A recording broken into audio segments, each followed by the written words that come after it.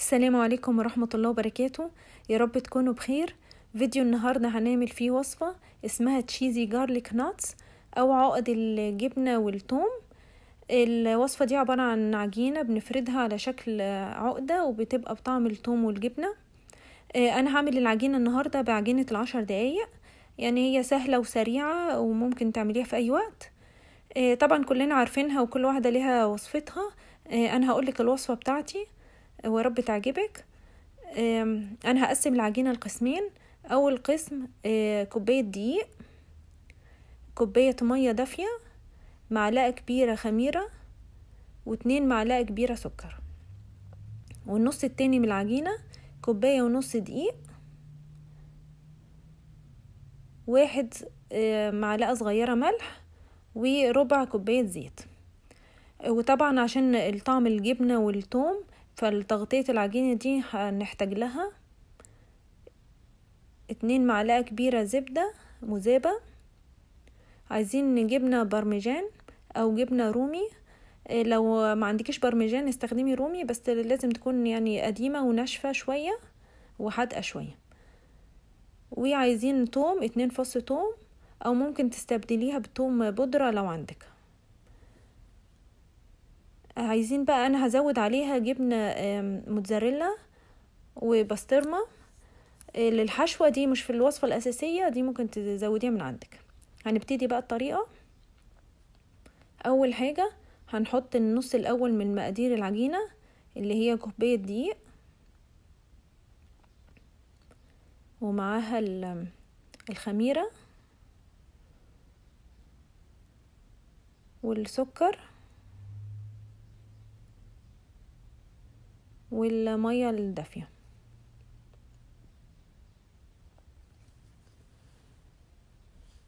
بنقلب كده النص الأول ده كويس قوي مع بعضه. بالطريقة دي.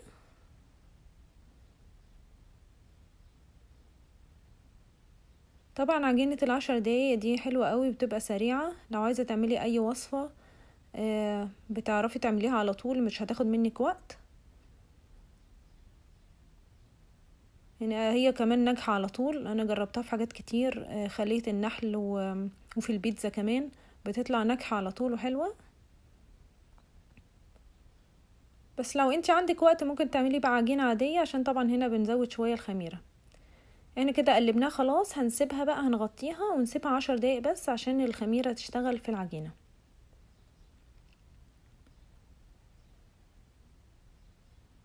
إحنا سيبناه كده عشر دقايق بس. هنشوفها. زي ما انت شايفة هي الخميرة اشتغلت والعجينة بقت حلوة. هنزود بقى بقية المقادير اللي هي الربع كوباية زيت. وهنحط الملح نحطه هنا على الدقيق. وطبعا كوباية ونص دقيق. هنقلب الزيت هنا كويس الأول.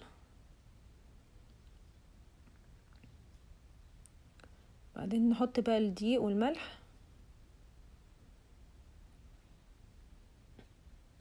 ونقلبهم برضو كويس قوي. آه أنا هعجنهم في العجين لمدة عشر دقايق أو ممكن تعجنيه على إيدك برضو لمدة عشر دقايق لغاية ما العجينة تلم وتبقى ناعمة معاكي خالص. وبرضو هنسيبها لمدة عشر دقايق أو ربع ساعة تخمر تاني. أنا عجنتها اهو. بقت ناعمة خالص زي ما انت شايفة. أنا بقى هغطيها وأسيبها برضو في مكان دافي لمدة عشر دقايق كمان أو ربع ساعة.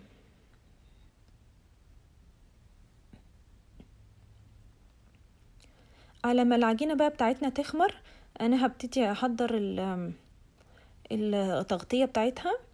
أنا الصراحة ما بحبش قوي قطع الثوم الني كده في الأكل.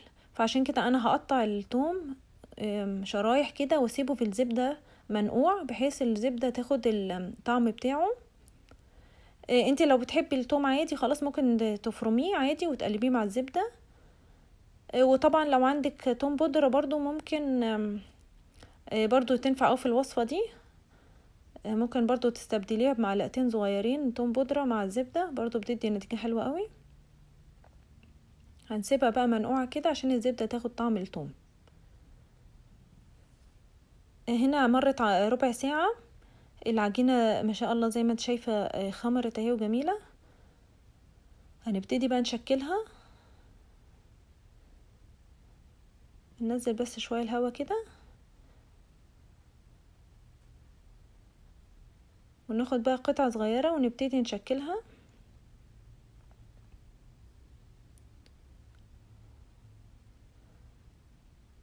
هنا هنشكلها على شكل عقدة.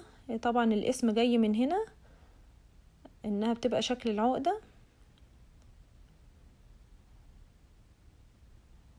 طبعا العجينة مادام مرتاحة معاكي بتتشكل معاكي بسهولة. هنعملها كده العقدة الشكل ده. بالشكل ده. نعمل برضو واحدة تانية.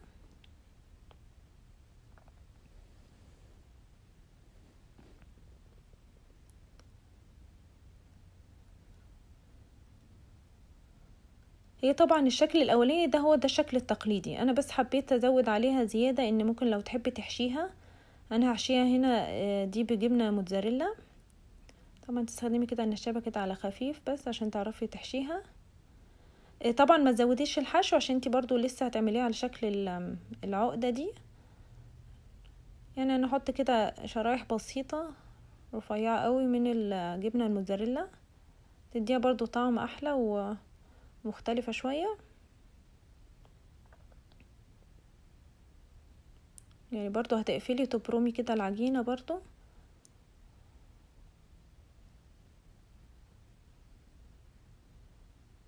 وبرضو تشكليها على نفس الشكل.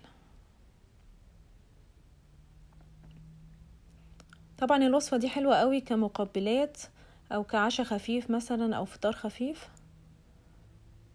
يعني حلوة قوي ومختلفة.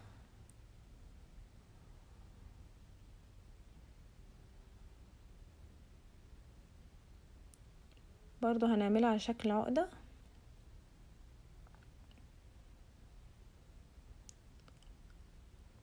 ممكن نعمل بقى واحدة بالبسطرمة.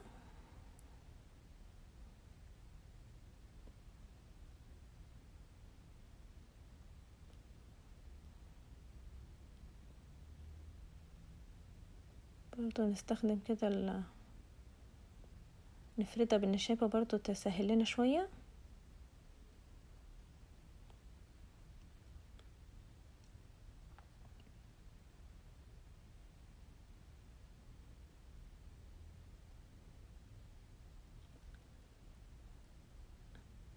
هنحط كده برضو حشوة برضو بسيطة عشان نعرف نقفلها. طبعا الخطوة دي زي ما قلتلك ممكن تستغني عنها خالص.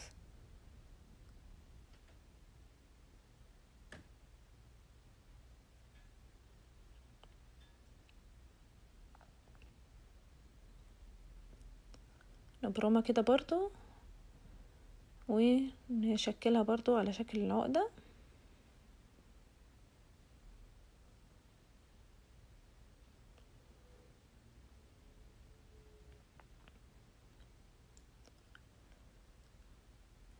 دلوقتي بقى هنبتدي نشوف هنغطيها إزاي. آه أنا الزبدة على فكرة جمدت معايا فحطيتها شوية في الميكرويف فلما دفيت شوية يعني التوم برضو طلع نكهته أكتر وبقيت مشبعة جدا بطعم التوم وريحة التوم. طبعا هندهنها كده كويس عشان ده أساس الطعم. هو التوم والجبنة. وندهن برضو من تحت كده. ممكن نعملها كده ندهنها كده ونرش عليها شوية جبنة برمجان أو الرومي أو التركي. ممكن بقى بطريقة تانية ممكن تغطسيها كده في الزبدة وبعدين تحطيها في الجبنة. يعني هي نفس النتيجة تقريبا. شوفي اللي بيريحك بقى في الشغل وتعمليه. هنا خلصت هنا أول صينية. طبعا بتحاولي تحطيهم بعيد عن بعضهم شوية عشان طبعا هينفخوا أكتر في الفرن. وهيدخلوا الفرن على درجة مية وتمانين لمدة ربع ساعة. هنا طلعت معانا عقد الجبنة والثوم زي ما انت شايفة شكلها حلو قوي ومتحمرة.